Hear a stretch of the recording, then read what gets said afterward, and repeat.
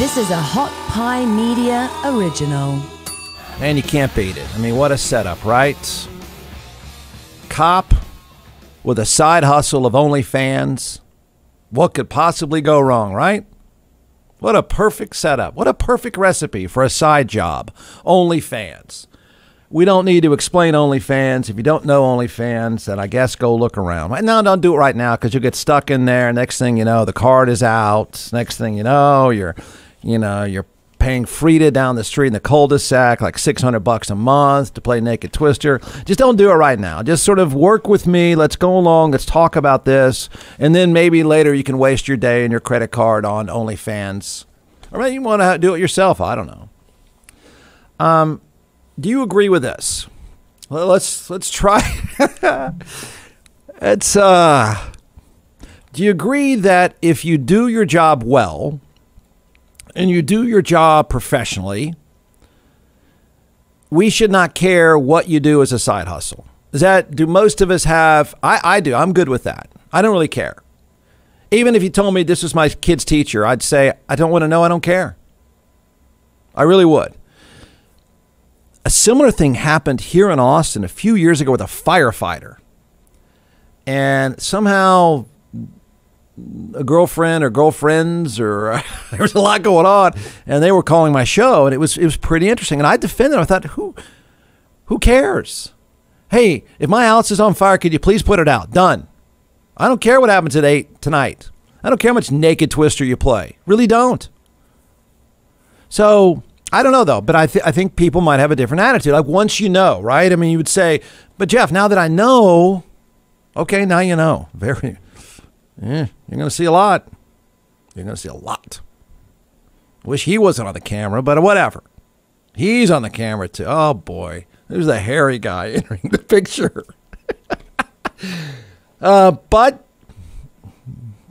you know, look, whatever the market wants, whatever the market wants. Consenting adults, whatever the market wants. Good for you. Have a nice day.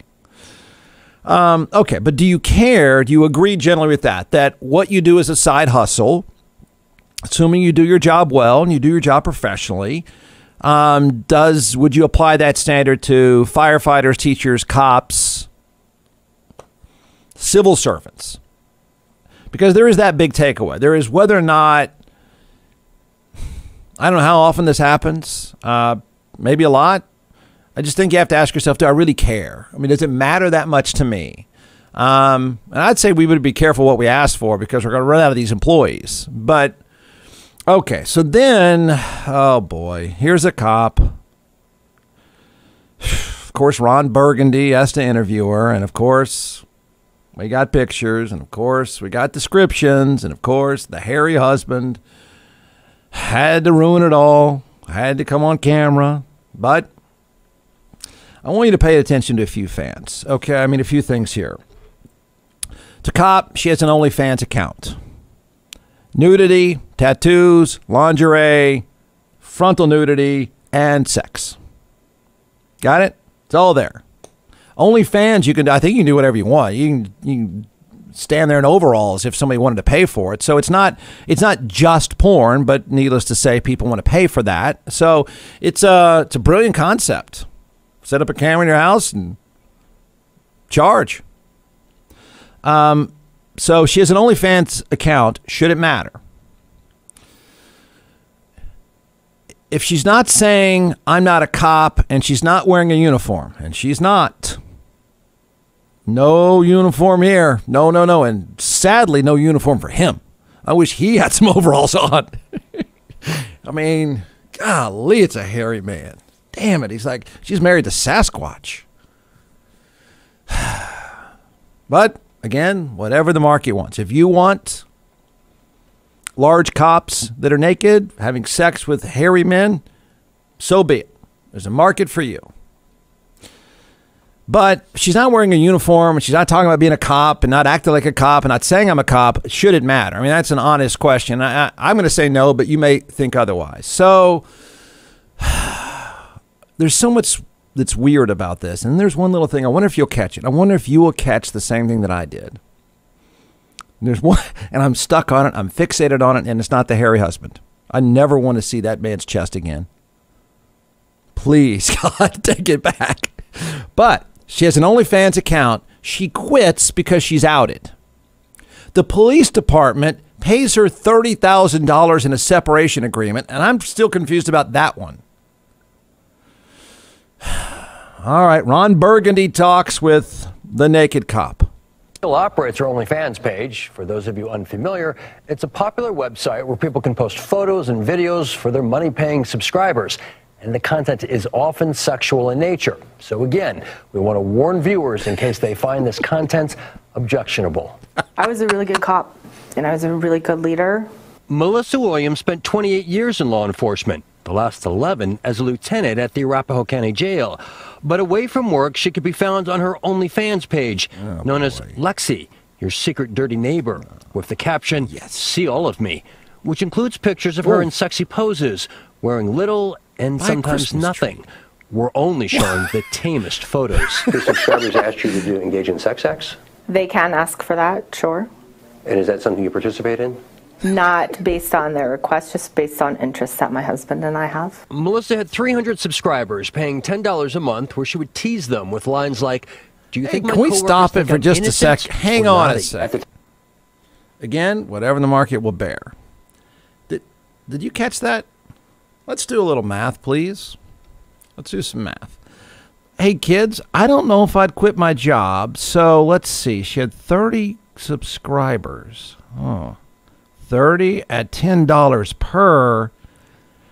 What is she paying in taxes? So Lexi, your dirty neighbor, is netting $240 a month?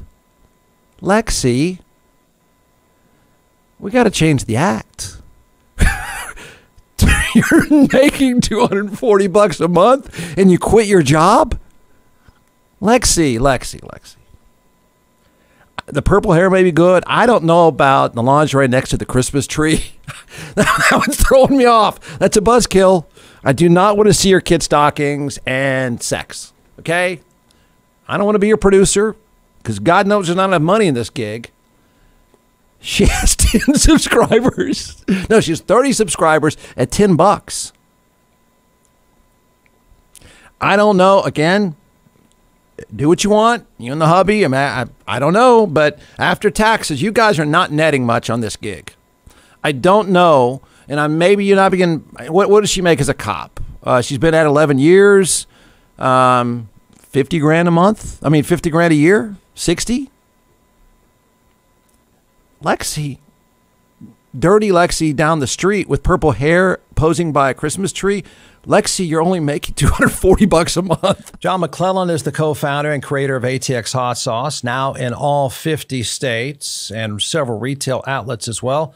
So what we're going to do today is we're going to let this social media rock star chef uh, walk us through four different sauces, and then I'll taste and we'll tell everyone why they should buy. You can give the science behind yeah. these, and then I'll make the uh, the simple recommendation: go to atxhotsauce.com. All right, I don't so think anybody's go. heard the website. Yeah, I know. I know. You, Jeff, I've never heard yeah, that. it is atxhotsauce.com. I'll say it 345 right. times atxhotsauce.com. So let's do it. Uh, I brought four flavors here, and we're going to test your palate today. Okay. And I only brought four because I didn't think you could handle five yeah, or six. Yes, probably a smart move. Yeah. yeah. And uh, so the first one we're going to try here, it's called Beet Heat.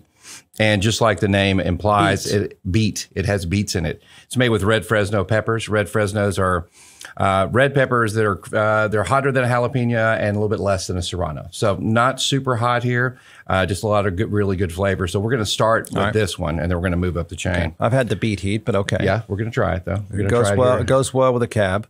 All right, Jeff's savoring beet. I'll heat. even do it with you, so that should be all right. Now remember, it is hot sauce. Yeah.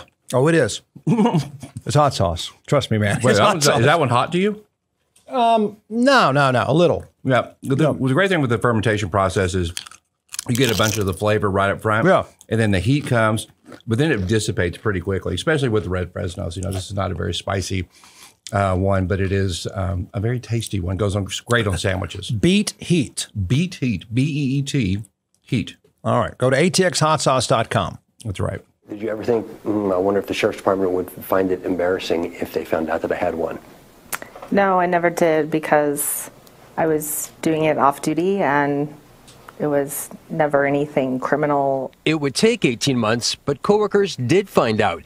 And so did a female police officer from a neighboring department who filed a complaint with the Arapahoe County Sheriff's Office stating she felt like Lieutenant Williams' poor judgment was a discredit to the Arapahoe County Sheriff's Office. So I was like, this doesn't even affect the person that reported it. It doesn't affect my work. It doesn't affect my employees. It doesn't affect the community. But the sheriff's office took it seriously. In a memo obtained by the problem solvers, an internal affairs inspector wrote, the website contains pictures of Lieutenant Williams posing for pictures clearly showing her face and her genitals. One or more of the photos appear to have been taken in a very public location. I think some people view what I did for fun as being a sex worker, but I'm the same as someone else's neighbor, their friend, mom, daughter. I'm still the same person I was for the 18 months the page existed and nobody knew. Well, there's a lot of things that are legal that people disapprove of. Don Mayer is a professor of business ethics and legal studies at the University of Denver. He says Colorado has a measure, the lawful off duty activity statute, that protects employees from being fired for what they do in their personal time, as long as they're not breaking any laws. I don't think there's a really strong argument that what she did was unlawful. So that leads you to believe they could not have fired her for having this OnlyFans page. I think that's correct. But the sheriff says Melissa Williams should have sought permission for secondary employment, just like any deputy who moonlights as security at a bar or at a football game is required to do. Did you ever think about uh, applying for secondary employment from the sheriff's department? No, because it was never started to make money. It just happened to make money. Williams does not want to say how much money her OnlyFans page has made, but rather than face an internal affairs investigation, she agreed to a $30,000 separation and release agreement to retire from the department. The IA investigation was never completed because you guys reached a deal. Do you think that they were going to terminate you no matter what if they completed that IA investigation? In my opinion, yes. And do you think that would have been fair? No, absolutely not. I did not leave out of shame, and I did not leave out of embarrassment for the OnlyFans page. I left because it was the right thing for myself and my family. Melissa Williams doesn't know what she's going to do next, but says it will not Yes, be in law does. enforcement. Arapahoe County Sheriff Tyler Brown declined an interview request. His spokesman told us having an OnlyFans page does not necessarily violate the department's secondary employment policy, but does say Williams should have sought permission.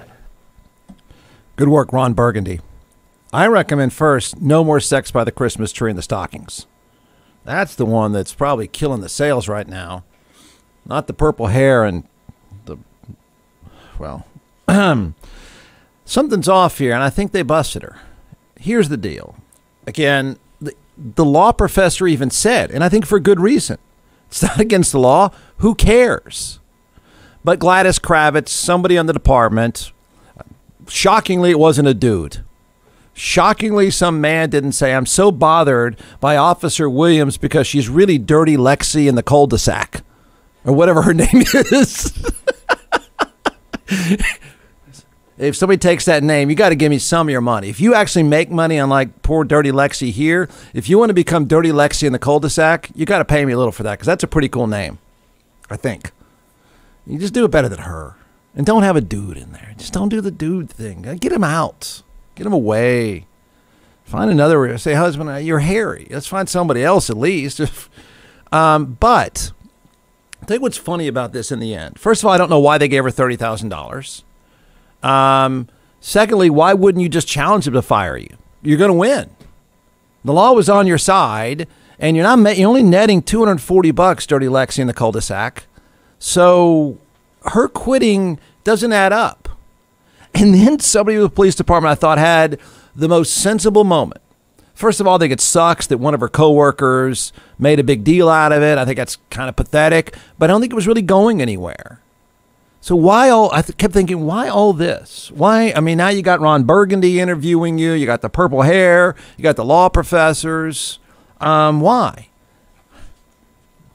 I think somebody solved the problem here. Not the problem of the photo shoots, you know, with the thong by the Christmas tree or whatever that was. Don't pose with the tree. It's not hot.